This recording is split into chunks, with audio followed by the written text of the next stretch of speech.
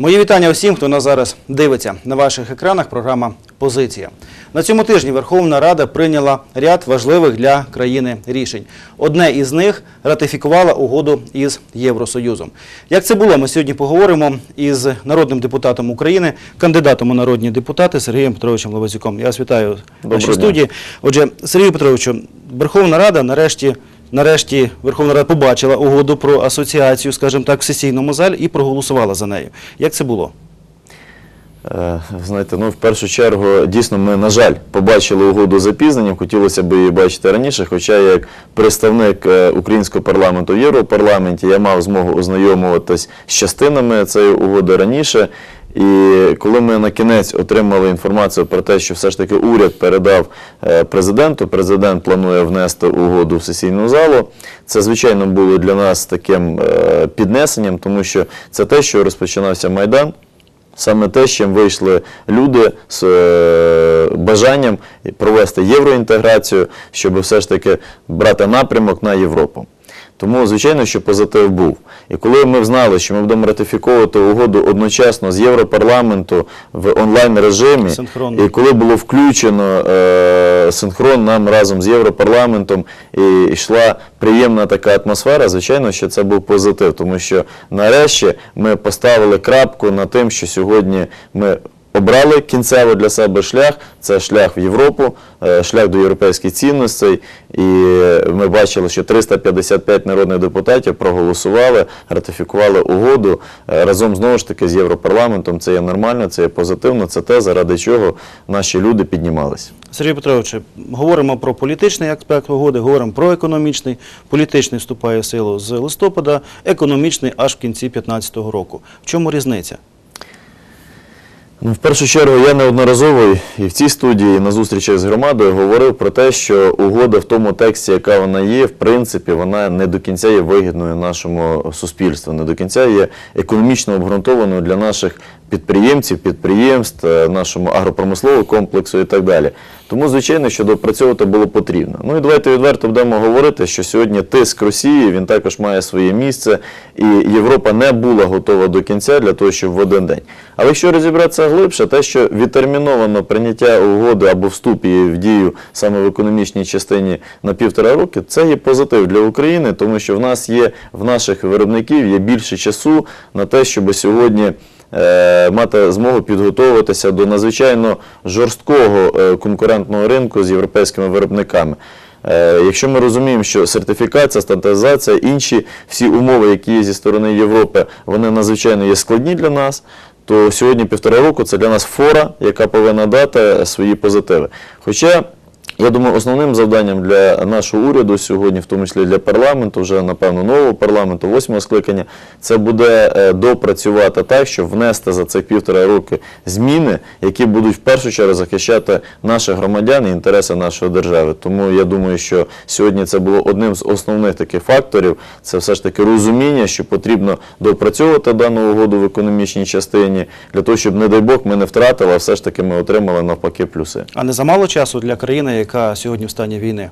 Півтора роки, щоб привести відповідність. все? Е, Ви праві, ми не знаємо, скільки часу ще буде війна. Може, ще війна, не дай Бог, буде півтора роки.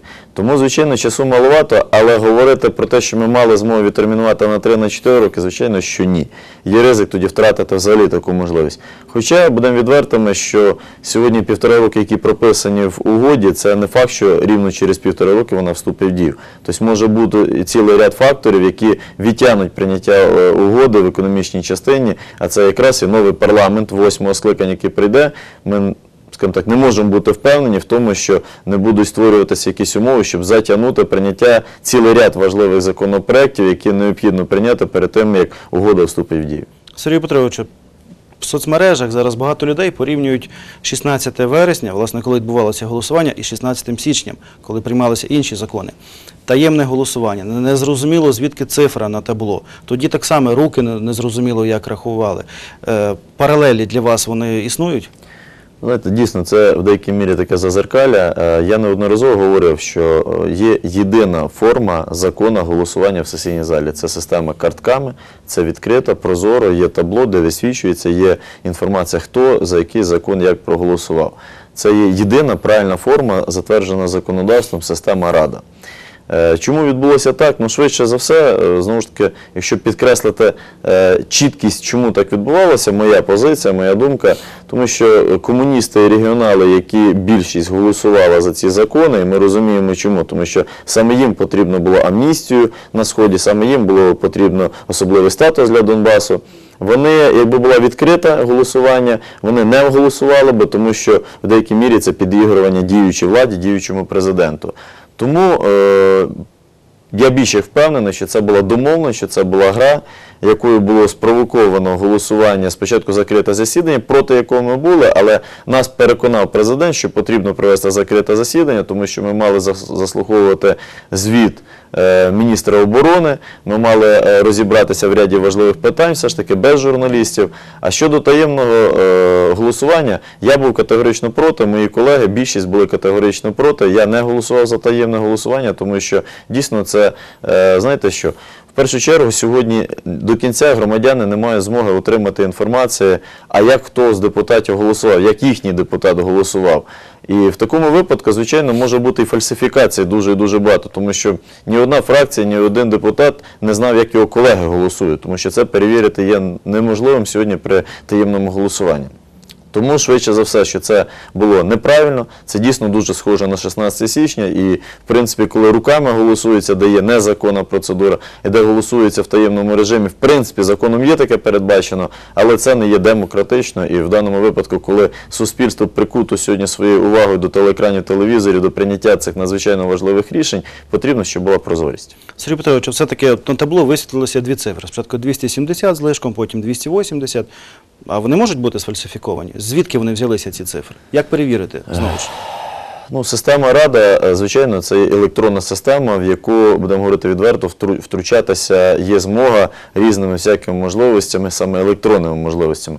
Тому сьогодні судити про те, чи це сфальсифіковано чи ні, напевно, мають е, перевірити відповідні служби, СБУ, е, прокуратура і так далі, які мають встановлювати. Тому я встановлювати не буду. Сьогодні є пропозиція Турчинова, голови Верховної Ради, щоб е, спеціальні служби провели перевірку. Є пропозиція ряду політичних партій для того, щоб підтвердити, було це голосування чи ні, дійсно законним, все ж таки провести відкрите голосування, щоб тоді ми переконалися, хто як голосував. Тому що це один в один дійсно ви праві були як голосування руками, коли по різних відеозйомках ми бачимо, що голосували руки, піднімали не більше як 102 народних депутата, а озвучували 235 і багато кому приписали це голосування. В даному випадку, звичайно, що може бути така сама практика. Отже, Верховна Рада приймає два суперечливих закони: амністія, особливий статус для Донбаса. Ваша позиція по цих законопроектах і особиста позиція. Голосували чи ні? Знаєте, я два дні боровся сам собою над цією темою. Е, коли я побачив е, текст, точніше, текст ми не побачили, ми текст побачили знову ж таки перед самим голосуванням цих законів. На жаль, останніх е, 5-6 місяців така ганебна практика практикується, що законопроекти не проходять профільні комітети, е, не проходять затвердження е, в сесійній залі якраз обговоренням, а просто виставляються з голосу і продавлюються, щоб були прийняті. Дані законопроекти, коли я почув назву, сама назва вже суперечить тому, що відбувається в наш, нашій державі останні 4-5 місяців, а це патріотизм, це підняття, це те, що наші військові сьогодні ціною свого життя, свого здоров'я е, роблять все, щоб врятувати кордони нашої держави, захистити своїх громадян. І тут приймається рішення про те, що потрібно терміново надати амністію всім, хто є на сході. А якщо говорити реально, то що в тексті там заавальовано, що в кого кров на руках, то вони не підпадають під амністію. Скажіть, будь ласка, як сьогодні встановити, в кого кров на руках, в кого ні? Я рахую, що всі, хто взяли зброю сьогодні на сході, всі, хто закликали на мітингах до е, розколу України, всі, хто в принципі в масках стріляли по українцях, хто сьогодні виконували різні злочинні накази, гвалтували, знищували, вбивали і так далі, звичайно, що вони повинні всі відповідати перед законом.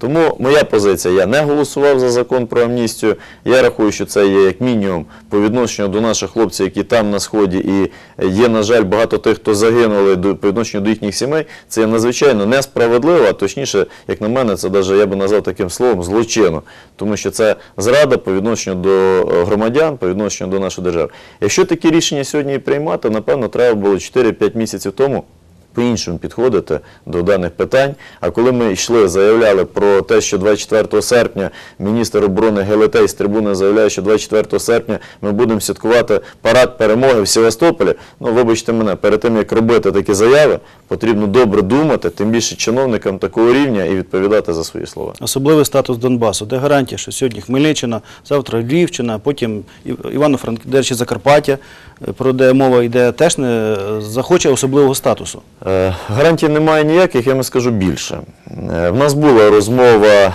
е, з людьми, які мають відношення сьогодні до прийняття рішень, і коли ми задавали питання, чи ці закони, що от приймуться сьогодні, чи вони зупинять Путіна, була відповідь швидше за все, що ні. Отож, звичайно, що це є неправильно. Чому? Тому що сьогодні, згідно закону, як і про амністію, так і про особливий статус, особливо особливий статус Донбасу, говорить про те, що е, будуть створюватися в них народні міліції, народні мери, е, будуть призначатися прокурори, начальника СБУ і так далі, саме ними на місцях. Але що цікаве, або точніше воно банальне в даному випадку, це фінансуватися ці всі народні міліції. Це сьогодні це ополченці, які воюють зі зброєю проти України. Яким дали амністію. Завтра ми їм даємо амністію. Завтра вони створюють народну міліцію, обирають свого народного мера, і ми їм ще платимо заробітну платню. Тому що з податків, які будуть збиратися на території Хмельниччини, в тому числі, їм буде виплачуватися заробітня платня. То вибачте мене, як сьогодні пояснити тій дружині чи тій матері, якого е, сина, яких чи чоловіка привезли, похоронили від рук цих вбивць, і завтра ще прийдеться цій ж дружині чи цій доньці е, відраховувати податки і сплачувати їм заробітну платню. Ну, звичайно, що такого близько не може бути. Якщо ми говоримо про те, що Донецьк, Луганськ ми повинні їм надати якусь особливого статусу, моя позиція, можливо, тоді федералізація шляхом проведення референдуму. І, будь ласка, якщо дійсно сьогодні позиція, що на Донеччині, на Луганщині не хочуть е, бути на території України, нехай приймають рішення. Хоча після п'яти місяців жорстоких боїв, відстаювання території України, звичайно, що такого ми не повинні допустити. Я переконаний в тому, що президент, керівництво держави повинні шукати шляхи дипломатичні, тому що силою, ну, швидше за все, що ми дійсно не переможемо і війну не зупинимо. Хоча патріотизму є достатньо. Хоча знову ж таки є, на жаль, інші факти, коли тільки за тиждень часу порядка 1800 чоловік, військових, хлопців, солдат покидають поле бою, повертаються додому без наказу. Тут по-різному можна судити. Хтось говорить, що вони зрадники, хтось говорить, що їх зрадили, тому їм не було їх залишатися. Звичайно, ми повинні розуміти, що це наша спільна проблема, спільна наша біда, і нам потрібно разом шукати шлях, чергу дипломатичний, але ні в якому разі не впускати руки, не показувати, що ми е, не можемо силою відстоювати територію нашої держави. Можемо. І це доказало сьогодні не керівництво, а це доказало сьогодні якраз звичайні хлопці, яких відправили, залишили там на призволяще, вони згуртувалися. Громада допомогла забезпеченням, тому що сьогодні дійсно кожного солдата убувають, взувають бронежилет, каску і все купують е, просто або волонтери, або е, цілою родиною, або просто громадян нашої України. Тому, звичайно, що дані рішення вони е, є на сьогоднішній день сумнівні. Якщо ми пригадаємо 4-5 місяців тому, власне, те і пропонував Путін. Для чого ж ми тоді стільки часу воювали, хлопці наші гинули? Може, зразу треба було піти йому на поступки? Я вам скажу, 4-5 місяців тому Путін менше вимагав, чим вимагає сьогодні. Путін відчув силу і безнаказаність, тому що не Америка, не Європа суттєво е, не впливає сьогодні на е, Путіна, тому що санкцій, яких напевно є недостатньо. А окрім санкцій, все ж таки, ми, ми розуміємо з вами, що окрім економічних питань, нам потрібно сьогодні мати змогу е, впливати і фізично. Отож, нам потрібна була підтримка НАТО. Я хочу вірити, що все ж таки ми отримуємо стратегічне партнерство в НАТО, і е, це дасть якусь підтримку на даному етапі нам. Але час пройшов. Час назад вже, на жаль, не повернеш. Не повернеш вже, на жаль, тих хлопців, яких немає. Тому сьогодні потрібно приймати різкі рішення, але ці рішення мають бути в першу чергу з інтересами громади на користь нашої держави. Звичайно, це не здача території України. Ми будемо відверто говорити, ми здали Крим. Це сьогодні всі люди розуміють, про це сьогодні всі говорять, що як так без єдиного вистріла, без єдиних намагань просто віддати Крим, коли ми розуміємо, що референдум був сфальсифікований швидше за все, що там ми не мали права зробити так, навіть якщо там велика частина була е, людей, які все ж таки хотіли Росії. Це територія України, і там була велика частина людей, українців, е, які сьогодні мають право на те, щоб жити на території України, і їхня держава їх захищала. Тому на Донеччині, на Луганщині, відповідно, також є дуже і дуже багато людей, які сьогодні є дійсно українцями. Як е, не тільки по паспорту, по громадянству, а по своїй душі вони люблять Україну. Нещодавно, е, коли перебували мої колеги в Маріуполі, повернувшись, сказали, що Маріуполь став зовсім іншим. Маріуполь став настільки українським, що потрібно сьогодні ще дійсно в Західній Україні пошукати таке місто українське. Тому, звичайно, що ми повинні відстаювати, і те, що відбулося, ну швидше за все, воно має не зовсім гарний окрас і не зовсім приємний, е, приємні наслідки. От, власне, ми розуміємо про те, що Путін може і не зупинитися, йому потрібний е, е, шлях до Криму не через море, а через територію. Тобто Маріуполь і далі туди пішла. Наскільки загроза цього є велика? Я в цьому навіть не сумніваюся, тому що Путіну потрібен сухопутний шлях до Криму. Ви знаєте, ми з вами знаємо, вже всі неодноразово про це говорили, чули про те, що з 15 жовтня завжди закривається паромна переправа на Керчі, тому що наступає період штурмів і це є небезпечно. Відповідно, якщо в Путіна немає сухопутньої дороги до Криму, це ризик, що Крим на зиму залишиться без продуктів харчування і так далі. Тоді рейтинги 80%, які є в Путіна е, в Росії, вони впадуть, тому що буде висновок простий. Взяв, побавився і залишив просто так. Тому однозначно, що або мирним шляхом він домовиться і він отримає цю дорогу до Криму через Херсон, через Маріуполь, або він буде брати його силою. Швидше за все, що може бути наступним етапом після Донецька, після Луганська, може бути Херсон, може бути Запоріжжя, може бути Харків, Суми. Звичайно, що сьогодні гарантії немає ніяк. Тобто тут потрібно ви, ви- висловити чітку і тверду позицію. Ми її висловили. Громада висловила, люди висловили свою чітку і тверду позицію, що ми готові своє життя ложити здоров'я, але не запустити окупанта на територію України не на метр далі. І нам вдавалося, тому що ми пройшли багато і багато вперед. Ми звільнили сьогодні десятки міст. Але чому сьогодні військове керівництво держави дає накази відступати, здавати, або ще точніше, здає наших солдат? Ми бачимо те, що відбулося сьогодні в ряді міст, те, що відбулося під Іловайськом, і відповіді до кінця ніхто стверджувально не хоче дати, але це однозначно була зрада, здача наших хлопців, яких відправляли на загибель, е- розуміючи, що вони роблять. Сергій Петрович, сьогодні в таких складних умовах е, Україна вступила в виборчу кампанію. Власне, було прийнято рішення 26 жовтня, перевибори. Ви одним із перших зареєструвалися. Чому знову вирішили балотуватися і з чим йдете до людей? А я не знову вирішив балотуватися. Я продовжую свою діяльність, яку розпочав знову ж таки, навіть не два роки тому, коли обирався депутатом Верховної Ради. У мене є моя громадянська позиція, з якою я живу останніх 10 років вже як мінімум. Мене обирали люди депутатом районної ради, мене обирали депутатом обласної ради. Я не працював з політичними партіями. Я завжди був представником громади і відстав їхній інтерес. За ці два роки вдалося багато зробити. Звичайно, також багато і не вдалося зробити, але часу було не так багато. Проблем надзвичайно є багато. Тому я продовжую просто свою діяльність. Я не можу зрадити тих людей, які мене обирали. Як би сьогодні хто що мою сторону не закидав, а є сьогодні опоненти, які нічого два роки не робили, палець о палець не вдарили для своєї громади, не відставили ні в чому, а закидають якісь мені негативні моменти. Тому я думаю, що саме на виборах дійсно це буде люстрація, яка сьогодні всі про неї багато говорять. І на цих виборах, якщо люди проголосують за мене оберуть, то я отримую знову той мандат довіри, який я розумію, що це буде авансом мені для того, щоб я виконував ті непрості завдання людей, які я отримую щоденно на зустрічах. У мене за е, останні три тижні проведено порядка 50 зустрічей на окрузі. А за останній рік? Людей за останній рік я провів порядка 300 зустрічей. Я побував в кожній громаді, в кожному населеному пункті, а це 188 сіл, місто Волочись, частина міста Хмельницького, зустрічався в трудових колективах. І я знаю проблеми людей не з розповіді когось, не з газети, не з телебачення. Я знаю особисто в обличчя людей, я знаю їхні проблеми практично кожного. Тому я знаю, з чим я працював, і я продовжую цю роботу. Я не говорю сьогодні про якусь нову програму. Я продовжую робити те, що я і робив, сумлінно виконував. Але люди, звичайно, нехай оцінять, як я працював. Сергій Петрович, ми стали вже свідками і брудних технологій, так? І, зокрема, проти вас вони використовуються. Як е, людям розібратися, де правда, а де брехня? Е, Знаєте, мені неприємно говорити на цю тему взагалі, тому що е, я привик все ж таки робити конкретну роботу і говорити за себе, а не говорити за когось, критикувати когось. Це не моя життєва позиція. Е, Але, звичайно, людям сьогодні дуже буде важко, тому що за короткий період, за 30-45 днів, буде вилито інформації стільки, що людям її переварити буде дуже-дуже складно. Тому, звичайно, я прошу своїх виборців, прошу громадян України дуже спостерігати е, так прискіпливо, напевно, за всім, що буде відбуватися, аналізувати те, що буде відбуватися, і ні в якому разі не приймати рішення емоційно. От що хтось прийшов сьогодні щось озвучив. Все ж таки думати і аналізувати, а що було зроблено цією людиною до.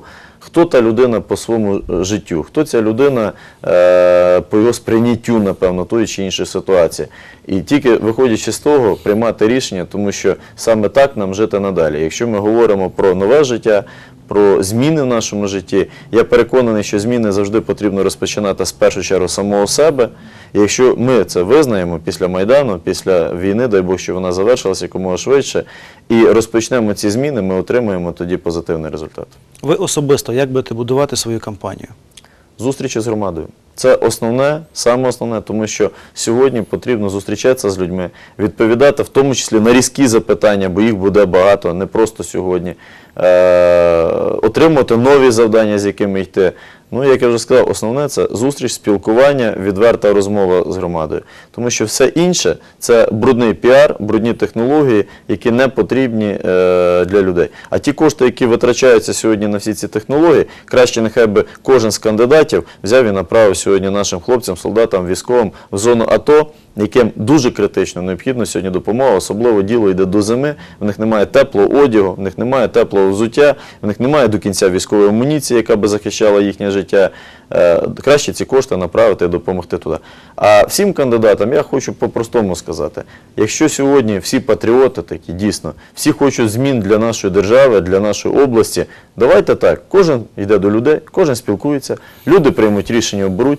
Після виборів збираємося, зустрічаємося, хтось один обирається, інші не обираються, вони стають помічниками, вони стають командою разом, об'єднуються. І в такому випадку тоді кожен зможе довести своїй громаді, своїм виборцям, тому що за кожного будуть голосувати, за когось більше, за когось менше, хто справжній патріот і хто готовий працювати на результат. А хто після виборів пропаде, як це вже неодноразово було, що перед вибором піарився, розказував, який він молодець, яка його громадська організація і так далі. Після виборів пропадав на два роки, після виборів ми знову з'являвся, то я думаю, висновок простий. Ця людина працювала тільки на те, щоб залізти в крісло, для того, щоб отримати власні блага якісь, власний статус і не більше. А точно, що для громади ця людина не збиралась нічого робити і не буде нічого робити. Я вам дякую, Сергій Петровичу, за сьогоднішню розмову.